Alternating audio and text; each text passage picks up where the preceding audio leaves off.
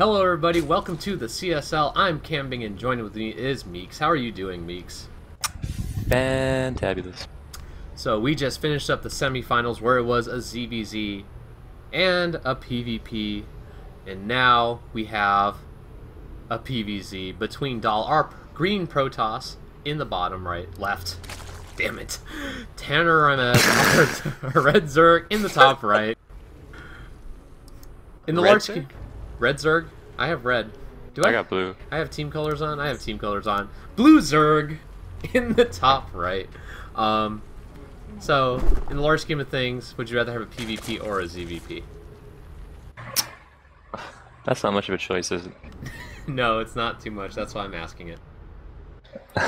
I guess PVZ. Yeah, yeah, I, I think so too. So, um, this should be interesting. I mean, Dhal and Tanner, two of the best players in Penny Arcade.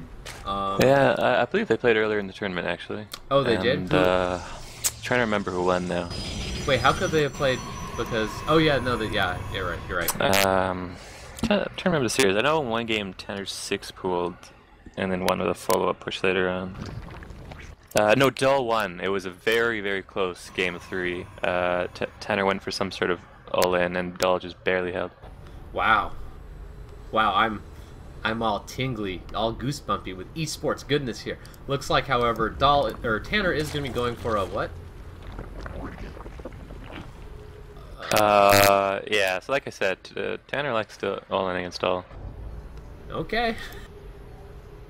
Um, Dhal did Oof. miss gas one there.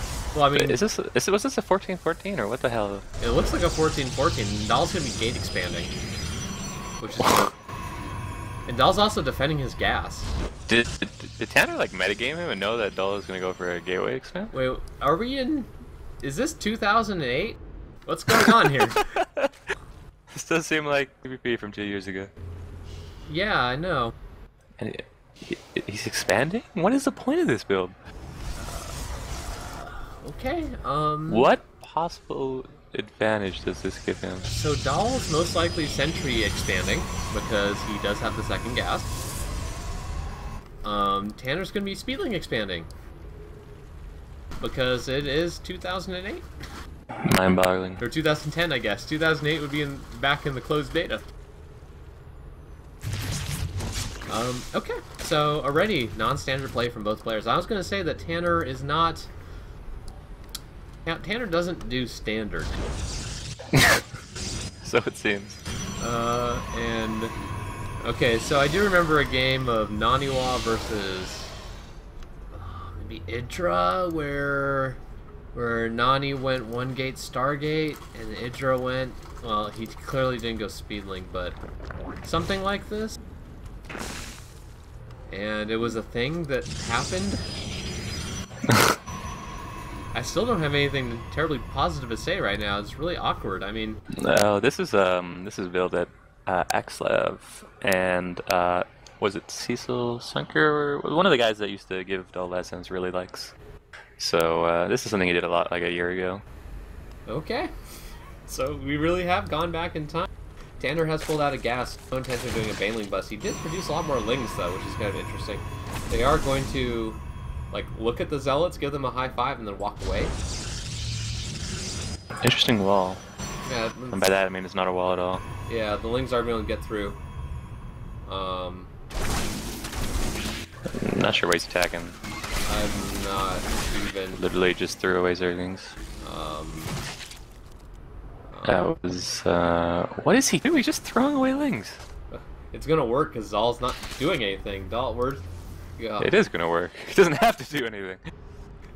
okay, no, there were lings back there. If those lings had actually been here, they could have broken through the zealot. Alright, so... So he's going all in. He's just nothing but lings coming. Well now there's drones, but that's a little bit too late I think. two phoenixes, plugs the hole. Oh, there's nothing you could go past the wall now. Yeah, look, oh, looks like he's going to... Oh, nice force field. Uh, but yeah. Oh, no, no, warping. So that Dhal's gonna clean that up.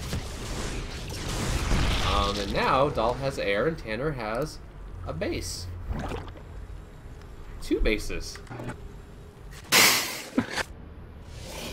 I really... Uh, just getting the Evo down, so he's gonna have no answer for these Phoenixes. Well, I mean, it's only two Phoenixes, right? And they're just clean up Overlords, so he's gonna have enough time, I think.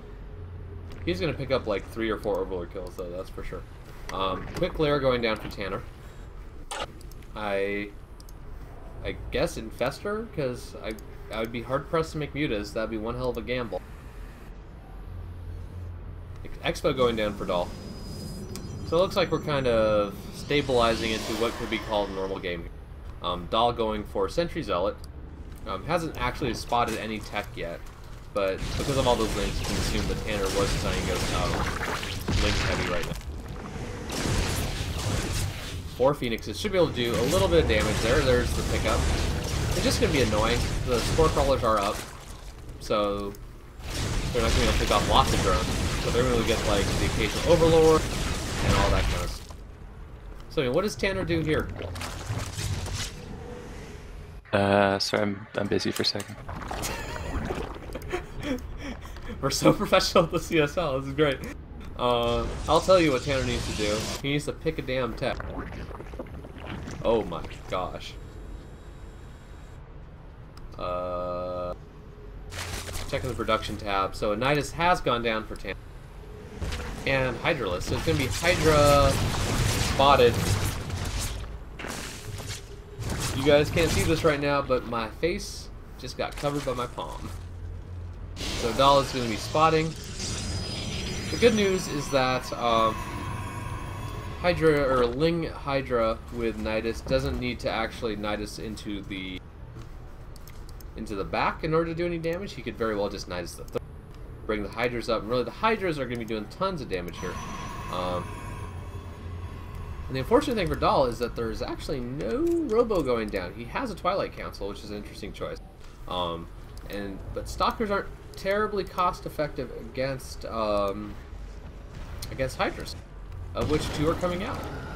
So we'll see how this works out here. Looking at the unit station, he uh, Tanner does have max sat on um, two base, so probably has no intention of going to a third. This is going to be another kind of all-inish sort of. Looks like Dhal Dhal spotting the Nidus with his Phoenixes. We'll pick up that Queen in a second. It looks like going to push up here so you can see as the units are just unloading. Um, oh, it's to be a little bit close. And there's the GG. So Dhal with some good defense against kind of awkward aggression from Tanner does take game one. Interesting.